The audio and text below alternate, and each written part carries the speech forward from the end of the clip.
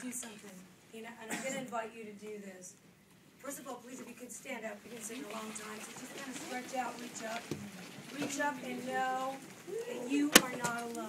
Okay? There's a reason we are one body and one life in this room right now. And if you can hold the hand of the person next to you, please, just for one moment. I'd love you to do something. With your eyes open, look at each other. Look around this room. Then go back to your original position and close your eyes and do something I call a freeze frame. It's a freeze frame, and what a freeze frame is, is you're taking in not only the visual that your eyes have seen, but now you're embracing it with your heart. When you embrace it with your heart, you're going to feel it with your energy. You're going to pass that through your hands, through your heart, through your spirit, and through something I like to call my inner vibrator. oh, yeah. And it's better than orgasmic, let me tell you. When you feel the love from each other, thank you for being here and thank you for having me. Please take your seat. Nice. Thank you.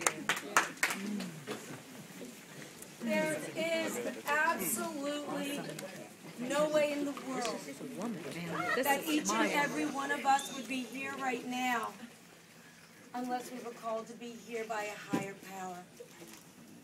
We've heard it called earlier God. You can call it Buddha. You can call it Ziggy. I, I really don't care. I had an iguana. uh-huh. And I hated reptiles. That freaked me out. My brother used to get them and they, the wind, and then I'd freak out. No way, man. Snakes, anything. It's like, ugh. I wear a necklace, it's a snake. Yeah.